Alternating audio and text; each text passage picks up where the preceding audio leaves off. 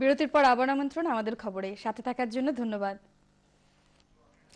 প্রতি বছরের ন্যায় এবারও যুবদল ব্র্যাডফোর্ড ক্রীড়া সংগঠনের উদ্যোগে অনুষ্ঠিত হয়ে গেল পঞ্চম বার্ষিক প্রতিযোগিতা। বিস্তারিত জানাচ্ছেন আমাদের ব্র্যাডফোর্ড প্রতিনিধি শেখ মোহাম্মদ লায়েক মিয়া। বছরের মতো যুবদল ব্রাডফুড নামের ক্রীড়া সংগঠনের উদ্যোগে গত রবিবার ব্রাডফুডের কার্লটন বোলিং মাঠে আয়োজন করা হয় পঞ্চম বার্ষিক ফুটবল প্রতিযোগিতার। ব্রিটেনের বিভিন্ন শহর যেমন Oldham, Manchester, Rochdale, Milton Keynes Leeds Bradford স্কান্তব সহ বিভিন্ন ক্রীড়া সংগঠন এই টুর্নামেন্টে অংশগ্রহণ করে।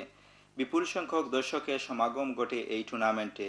এতে প্রধান অতিথি হিসাবে উপস্থিত ছিলেন বাকরেনেন বোলিংয়ের কাউন্সিলর হাসানুজ্জামান খান। আরও অন্যান্যদের মধ্যে উপস্থিত ছিলেন টুর্নামেন্টের আয়োজক নাসির মিয়া কমিউনিটি নেতা আলাউদ্দিন, রিয়াজ মিয়া, দিলু মিয়া সহ স্থানীয় কমিউনিটি ব্যক্তিবর্গ। টুর্নামেন্টের আয়োজকরা বলেন ব্রাডফুড ত্রিতে অবস্থিত জালালাবাদ জামে মসজিদের জন্য ফান্ডরাইজিং এর উদ্দেশ্যে এবারের এই টুর্নামেন্টের আয়োজন। প্রতিযোগিতায় প্রথম পুরস্কার বিজয়ী হয় স্কান্তব এবং দ্বিতীয় পুরস্কার বিজয়ী হয় লিডস। কাউন্সিলর হাসানুজ্জামান খান বিজয়ীদের হাতে পুরস্কার তুলে দেন। Sheikh Mohammad Layek Miah channel I news Bradford এই ছিল আমাদের আজকের আয়োজন। শেষ করার আগে আবারও জানিয়ে দিচ্ছি